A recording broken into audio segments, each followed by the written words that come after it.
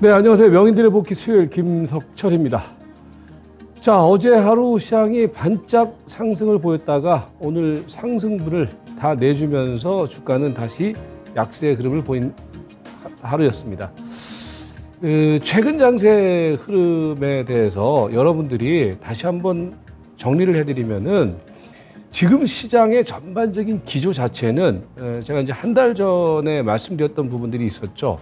어, 최근 나타나고 있는 시장은 단순한 하락 리스크, 즉 비체계적 위험에 의한 시장 하락이 아니라 체계적 위험에 의한 하락이다. 그래서 이 흐름은 쉽게 생각하면 안 된다. 그러니까 여러분들이 생각하는 것보다 더 많이 빠질 수 있다라는 이야기를 한 달 전부터 이제 여러분들한테 말씀을 드렸을 거예요. 그러면서 어, 이럴 때 투자 전략은 어, 고수의 전략, 즉 파는 걸 잘해라. 그러니까 예를 들어서 이런 거예요, 여러분들. 이번에도 말입니다. 어, 사실 이제 우리 개인 투자가들이 막 물려 있단 말이에요. 물려 있는 가운데에서 중간 중간에 시장의 흐름이라는 것이 말입니다. 그냥 안 뺍니다. 한 번씩 들었다 놓고 들었다 놓고 그럽니다. 빠질 때도. 그러니까 상승할 때도 그렇지만 하락할 때 하락할 때도요. 시장의 특성이라는 것이 그냥 빠질 때도 이렇게 이렇게 이렇게 빠지 이렇게 빠지지 않아요. 대체적으로 이렇게 빠진단 말이에요. 예. 상승도 마찬가지거든요. 상승할 때도 이제 그냥 올라가는 게 아니라 이런 식으로 올라간단 말이에요. 그죠? 예. 그래서 이제 하락 트렌드가 형성되는 자리에서는 그렇기 때문에 이 하락할 때 이 조그만 반등을 줄 때 내가 손해를 받더라도 잘 파는 거 그게 고수란 말이에요. 아니다 싶을 때 빨리 빠져나오고 전반적인 시장의 트렌드가 어떤 기조적인 약세 흐름이라고 했을 때는 조금 몸을 사리는 게 맞다. 근데 사실은 우리 개인 투자가들이 고수가 얼마나 많이 있겠습니까? 대부분 이제 뭐 하수들이죠. 그러니까 뭐냐면 미련을, 미련을 가지고서 에이, 기다려보지. 그런데 기다리는 상승 추세는 안 오고 계속 시장 주변에서는 안 좋은 소리만 들리고 있고 그러니까 계속 계좌는 쪼그라들고 막 이런 상황이 연출된단 말이에요. 요건데 다시 말씀드립니다. 그러니까 최근 이제 증권 방송들을 여러분께서 보시면은 저도 이제 모니터를 하다 보면은 어 보, 보수적인 이야기들 내지는 조금 조심해라 막 겁을 주는 이야기들이 사실 적어요. 그죠? 그러니까 통상적으로 그렇거든요. 그런데 지금은 제가 보는 견해에서는요. 뭐 한 달 전부터도 그런 말씀을 드렸지만은 여러분들이 만만하게 생각하시면 안 된단 말이에요. 그래서 한 달 전부터 가장 강력하게 추천드리는 제 추천주는 현금이다라는 말씀을 드렸을 거예요. 저는 지금도 마찬가지입니다. 아직도 그 현금을 추천하는 전략은 아직도 유효합니다. 요건데 여러분께서 현재 시점에서 이제 생각을 해봐야 될, 것, 될 것은요. 제가 이제 체계적 위험이라고 그랬잖아요. 체계적 위험. 체계적 위험. 그러니까 체계적 위험이라는 것은 시장이라는 것이 무서워 가장 무서워하는 것은 불확실성을 무서워해요. 불확실성. 그 다음에는 뭐냐면은 이런 경기가 침체 국면을 보인다거나 인플레이션에 의한 어떤 그 금리 상승 기조로 접어든다거나 이런 것들은 시장이 가장 무서워하는 체계적 위험이죠. 그러니까 체계적 위험. 단순한 위험이 아니라 단순한 리스크가 아니라 추세적인 위험이라는 거죠. 그죠? 그러면은 추세적인 위험이 형성되어 있는 이 시장 흐름에서 우리가 우선 해야 될 것은 뭐냐? 현금 자산, 즉 안전 자산을 가지고서 시장의 어떤 변동성의 흐름을 지켜보는 거. 이게 투자죠. 꼭 주식이라는 게 말입니다. 어떤 주식을 사서 돈을 버는 거. 그게 투자가 아니라 어, 최근 같은 장세의 흐름에서는 제가 이제 지난주, 지지난주 그런 말씀을 드렸지만은 현금을 잘 지키고 있으면은 내 현금 가치는 똑같은데 주식 가치가 떨어지면은 자연스럽게 현금 가치가 올라가겠죠. 그죠? 그것도 하나의 투자라는 말이죠. 근데 많은 개인 투자가들이 현금이 조금만 있으면은 기술적 반등을 겨냥한 매수를 들어가고 그리고 이렇게 하락 트렌드가 형성되어 있는 장임에도 불구하고 전기차가 간다, 반도체가 간다, 어떤 뭐, 뭐 테마 섹터가 간다 이런 걸 가지고서 자꾸 시장 접근을 한단 말이에요. 그러니까 잘 지켰던 분들의 경우에도 최근에 속절없이 깨지게, 깨지게 되는 거거든요. 여러분들이 최근에 이제 실전 투자를 해보시면 아시겠지만은 지금은 말입니다. 자칫 잘못하면은요, 잘 지켰던 자산도 한순간에 털어먹는 게 최근 장세의 흐름이에요. 그래서 다시 말씀드리지만은 지금 장세 흐름을 오늘 뭐 빠졌다고 해서 제가 그런 말씀 드리는 게 아니라 좀 냉정하게 보셔야 돼요. 어, 계속 말씀드리는 부분들이지만은 하수의 전략, 즉 사는 전략은 지금은 안 하셔도 돼요. 지금은 철저하게 고수의 전략, 잘 팔고 나오고 지금이라도 그리고 중수의 전략, 관망하는 전략, 내 현금을 가지고서 시장의 흐름을 지켜보는 전략. 이게 무엇보다 중요한 핵심 투자 전략이라는 점 생각을 하시면서 어, 최근 일주일 동안 진행됐던 시장의 흐름의 팩트가 뭔지 그러니까 사실은 시장 흐름을요, 여러분들이 이해를 하실 때 왜 어제 들었다 오늘 왔느냐라는 부분들에 대해서 객관적인 팩트를 가지고서 시장을 보셔야 돼요. 그래야지 아, 내가 어떤 대응을 할 것인가가 나오는 거거든요. 그런데 F 지금 현재 시점에서 FOMC 회의가 어떻게 될 것이며 이 부분은요. 제가 보는 견해에서는 전략적인 근거로 그러니까 하락 트렌드가 형성돼 있다라는 근거로는 우리가 그냥 이미 알고 있는 부분들이고 단기적으로 벌어지고 있는 이 시장 흐름에 대해서는 그 부분보다 더 현실적인 팩트를 가지고서 시장을 분석하는 게 중요한 포인트다. 오늘 그 얘기를 해드릴 거예요. 그러니까 왜 어제 들었다가 오늘 빠졌는지 그리고 최근의 시장 상황은 어떻게 될 것인지 그리고 여기서 어떤 투자 전략을 가져가야 될 것인지를 심플하고 명확하게 말씀드리고 마치도록 하겠습니다. 먼저 지금 이 마디 말입니다. 지금 현재 진행되고 있는 시장의 마디는 이전의 마디하고 다릅니다. 그러니까 뭐가 다르냐면은 이전에 진행됐던 시장의 흐름에서는 말입니다. 요 국면에서 시장이 한번 트렌드가 깨졌죠. 그죠? 이 국면에서 나왔던 트렌드의 이탈은 뭐였습니까? 가장 이 하락을 유도했던 포인트는 테이퍼링을 중심으로 하는 금리 인상. 그죠? 예. 그 기조, 그게 이제 이 첫 번째 마디 속에서의 하락의 트렌드였어요. 그리고 난 다음에 지금 현재 진행돼 가고 있는 이 하락 트렌드의 포인트는 뭐냐? 이때는 뭡니까? 이때는 이제 금, 어, 잠깐만요. 네, 이때는 금리, 그죠? 금리 인상에 대한 부담감. 이게 이제 주가 하락의 배경이었고, 최근에 나타나고 있는 이 흐름은 뭐예요? 경기 침체죠. 경기 침체. 그래서 제가 이 두 가지를 이제 합쳐서 최근에 나타나고 있는 시장의 위험은 체계적 위험인데 그 체계적 위험이 더블 리스크다. 그러니까 금리가 인상, 인상 기조로 가고 그리고 성장이 둔화되고 그게 이른바 이제 스태그플레이션 아닙니까? 그러니까 그 흐름이 해소되고 있느냐? 아직 해소된 건 아무것도 없어요. 지금 오히려 딜레마에 빠져 있단 말이에요. 전 세계가. 미국도요, 어떤 대책을 내놓기가 지금 애매모호하단 말이에요. 어저께 사실은 뭐 유가가 이제 급락을 보였다라고 해서 그 부분에 따라서 나스닥이 올라갔다? 웃기는 얘기예요. 그렇지 않습니까? 경기가 안 좋은데 뭐 금리 인상 기조에 대해서 약간 이제 뭐 루즈하게 이제 인상을 이제 하지 않을 것이다라는 부분들과 인상의 폭이 적어질 것이다라는 부분들 때문에 주가가 올라갔다. 이게 되게 넌센스죠, 그죠? 그러니까 지금 중요한 것은 지금 하락의 트렌드는 경기 침체에 대한 부담감이란 말이에요. 그러니까 물가는 한창 올라가 있는데 경기가 침체 국면을 보이게 된다. 그러면 악순환의 구조가 형성될 수밖에 없다라는 거죠. 고용은 줄어들게 될 것이고 소비는 줄어들게 될 것이고 투자 심리는 악화되게 될 것이고 그렇지 않습니까? 그죠? 그게 현재 시장을 누르고 있는 포인트란 말이에요. 그러니까 이거는 뭐냐면은 지금 그렇기 때문에 체계적인 리스크, 즉 여러분들이 그동안에 느껴왔던 단기 악재 요인에 의해서 주가가 그냥 일시적으로 빠지는 게 아니라 기조적인 하락세가 진행 중에 있다는 관점을 생각을 하셔야 돼요. 그래서 뭐냐면은 조금씩 올라올 때마다 사서 사는 게 아니라 파는 전략을 계속해서 취해야 된다는 얘기죠. 일주일 전에, 이주일 전에 파신 분들이 지금 현재 시점에서는 마음이 놓으실 거예요, 사실은. 근데 일주일 전에, 이주일 전에 올라갔을 때 안 팔고 기다리셨던 분들의 경우는 내 계좌 수익률이 더 하락을 했을 거란 말이에요. 그죠? 왜? 기본적으로 지금 시장 상황은 이 경기 침체 국면에 기반한 체계적 리스크가 진행 중에 있는 과정이기 때문에. 그럼 언제, 언제까지 이래야 되느냐? 이게 완전히 돌아서거나 이 흐름이 전환되거나 주가의 어떤 흐름이 철저하게 빠질 때까지는 그러니까 그 시그널을 제가 드린다 그랬잖아요. 그죠? 그 전까지는 어떻게 되느냐. 위험 관리에 철저히, 철저히 하셔야 된단 말이죠.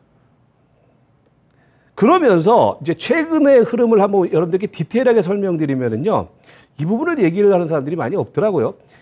어, 이제 최근 일주일 동안 시장 흐름의 가장 중요한 포인트는 뭐냐면은요. 일단은 지금은 이제 여러분들도 그렇고 시장 주변에 있는 개인 투자가들이 사실은 너무 조용해요. 뭐가 조용하냐면은 언론에서 아무 소리가 없어요.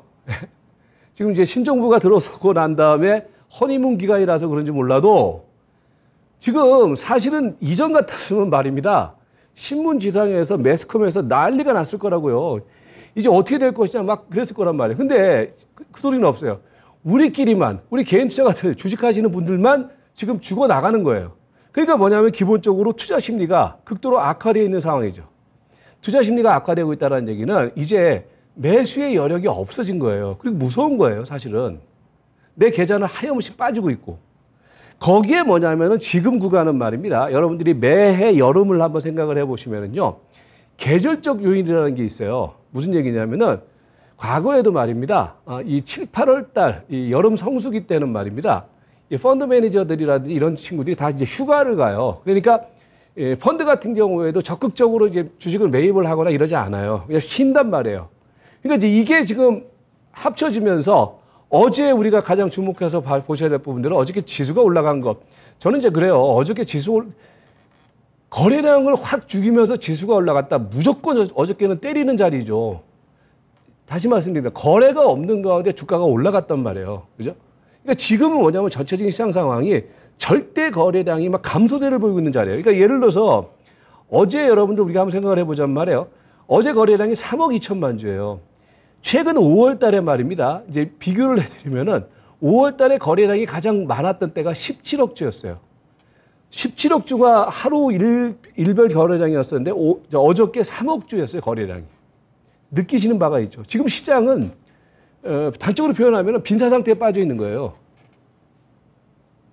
이건 매물 공백이 아니라 시장이 매수의 의지와 매수의 여력이 없어진 거란 말이에요. 거기에 말씀드렸던 것처럼 계절적 요인에 기반해서 기관 투자가들의 경우도 전체적으로 팔짱 끼고 앉아 있는 자리란 말이죠.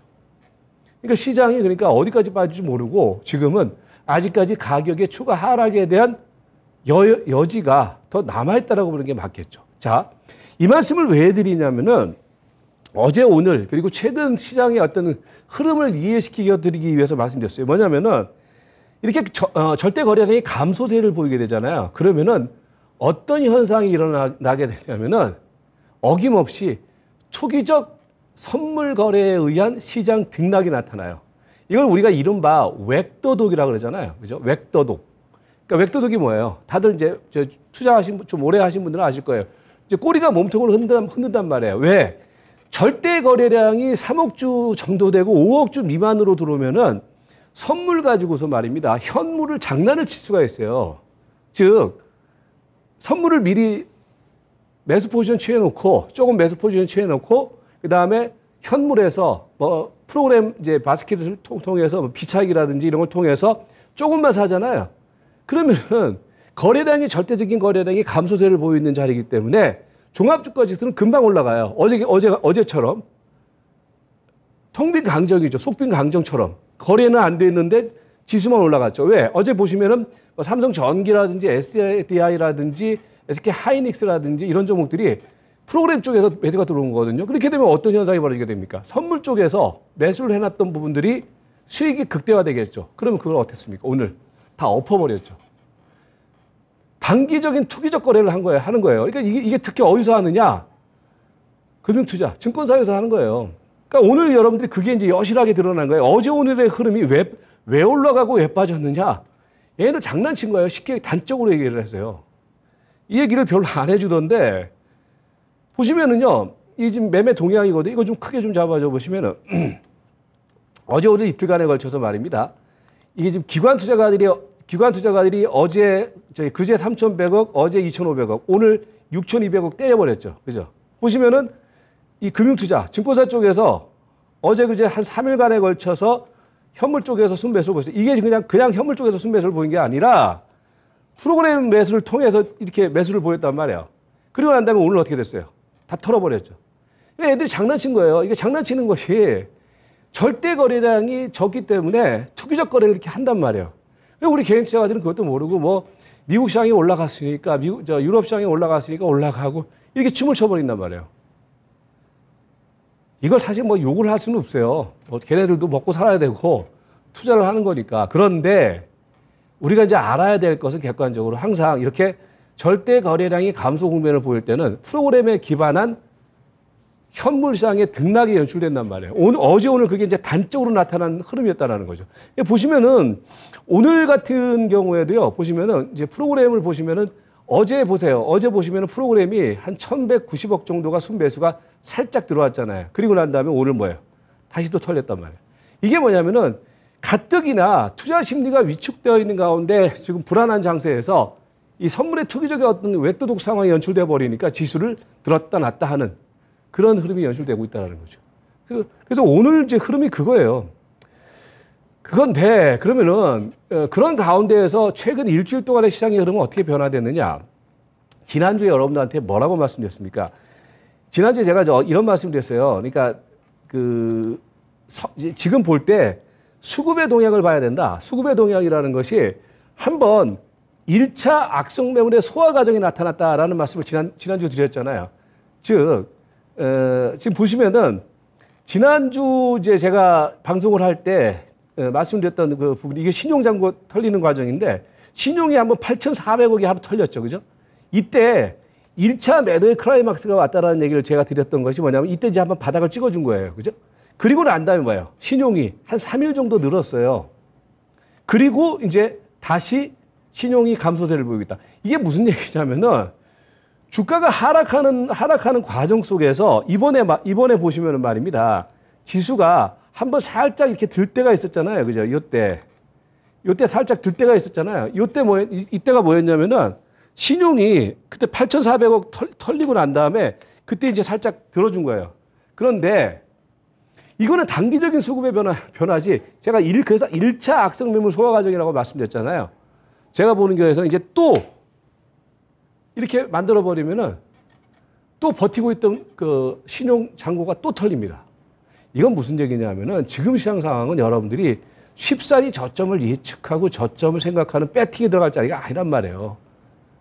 지금은 물려 들어가는 자리란 말이에요. 그러니까 그 흐름이 최근 일주일 사이에서 나타났던 시장의 흐름입니다. 결국 뭡니까? 신용 클라이막스 나오고 난 다음에 한번 살짝 들어주고 다시 밀리는 과정 속에서 이렇게 되면 뭐예요?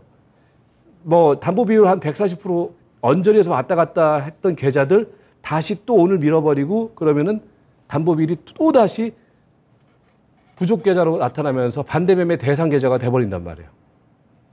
그게 지금 시장의 흐름이에요. 이렇게 되니까 종목의 흐름은 뭐예요? 지금 여러분들 어설프게 뭐 어떤 테마주 무슨 2차 전지가 어쩌고 저쩌고 뭐 이런 소리에 기, 절대 기울이지 마세요. 지금은요.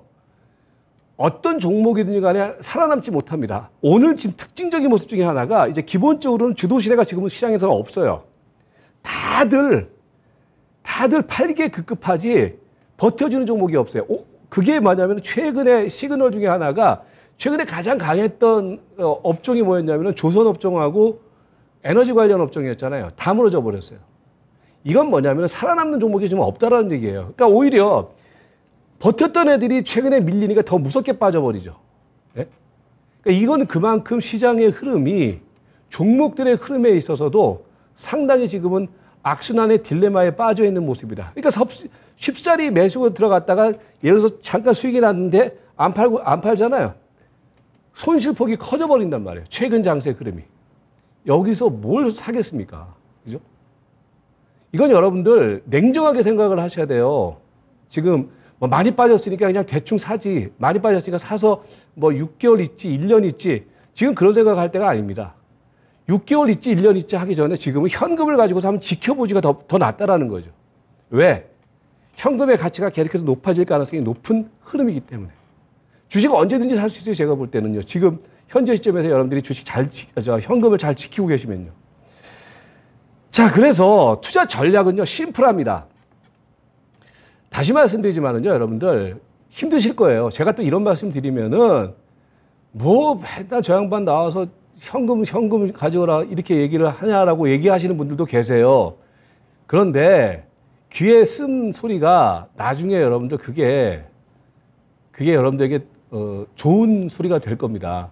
지금은 왜 그러냐면은 우리가 단편적으로 시장의 흐름을 보면 안 되고 한 달, 한 달 전부터 제가 말씀드렸다시피 지금 시장의 하락은 이게 보통 하락이 아니라 그 제가 체계적 위험이라는 얘기를 잘 안 썼어요. 그동안에 이제 제 방송을 오래 보신 분들은 아시겠지만은 그 단기적인 악재 요인들이 나왔을 때는 저는 쫄지 마라라는 말씀을 제가 잘, 자주 드리고 살아라는 말씀을 드렸지 반등 주면 팔아라. 팔아라라는 소리를 제가 잘 안 드렸단 말이에요. 근데 최근에 말씀드리는 것은 뭐냐면은 다시 말씀드리지만은 지금 시장을 둘러싸고 있는 기본적인 상황은 어, 체계적 위험에 의한 하락 상황이기 때문에 이거를 또 여러분들이 생각을 하셔야 될 것은 언론에서 조용히 하고 있고 뭐 대책이라는 것들도 지금 나오고 있는 게 하나도 없고 제가 이전에 그랬잖아요. 신정부의 어떤 경제 패러다임의 어젠다는 아무것도 없고 이건 그냥 그냥 방치되어 있는 상황이란 말이에요. 여기서 여러분들이 주식을 투자를 한다? 저는 되게 위험천만한 일이라고 생각을 해요. 그래서 먼저 포인트는 지켜야 삽니다. 그러니까 우리 뭐 배워야 산다도 있는데 지금은 지켜야 산다.